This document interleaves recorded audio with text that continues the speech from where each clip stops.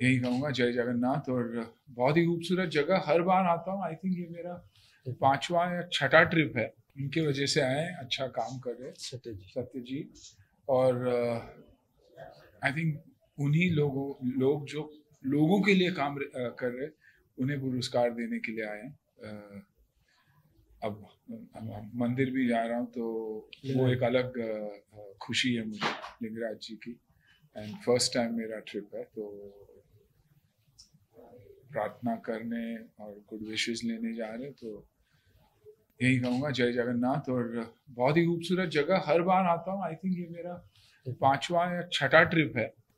और हर बार आता हूँ तो मुझे ऐसे लग रहा है कि प्रोग्रेस ही हुआ है। आप हाइजीन के पॉइंट ऑफ़ व्यू से देखिए सिविक सेंस के पॉइंट ऑफ़ व्यू से देखिए एनवायरनमेंट और ब्यूटी के पॉइंट ऑफ़ व्यू से देखिए तो you know and it is the city of temples so looking forward इस बार अब एक ही दिन के लिए आया हूँ, शाम को वापस जाना है, क्योंकि कल दूसरी जगह जा जा रहा हूँ मैं।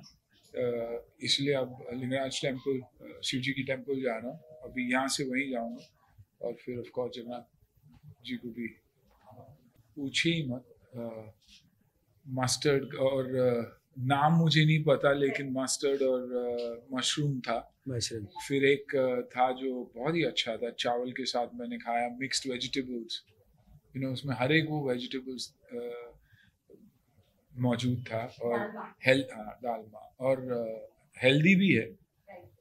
उसके बाद नोलन गुड़ वो आइसक्रीम भी खा ली मैंने। पहली बार मैंने यही खाया था वो मुझे पता भी नहीं था इससे पहले तो पेट भर के और खुशी खुशी जा रहा हूँ। और मैं जनरली जहाँ भी जाता हूँ तो लोकल फ़ूड डेफिनेटली खाने की कोशिश करता हूँ।